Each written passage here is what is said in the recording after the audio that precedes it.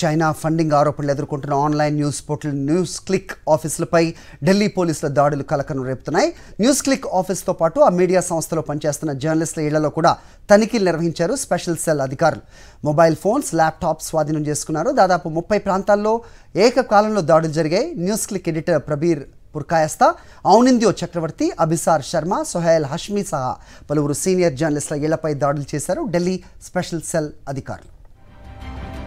News క్లిక్కు China నుంచి నిధులు అందుతున్నాయంటూ ఈ ఏడాది ఆగస్టులో న్యూయార్క్ టైమ్స్ పత్రిక ప్రచురించిన కథనం తీవ్ర దుమారమే రేపింది.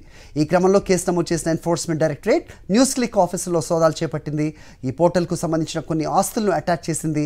ఈడీ ఇచ్చిన సమాచారంతో తాజాగా ఢిల్లీ పోలీసులు యూఏపీఏ కింద కేసు నమోదు చేసినట్టు తెలుస్తోంది. ఈ కేసు దర్యాప్తులో భాగంగా సోదాలు చేపట్టినట్టు అధికారిక వర్గాలు వెల్లడించాయి.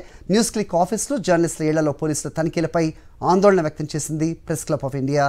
పరిస్థితిని ఎప్పటికప్పుడు పర్యవేక్షిస్తున్నామని తెలిపింది.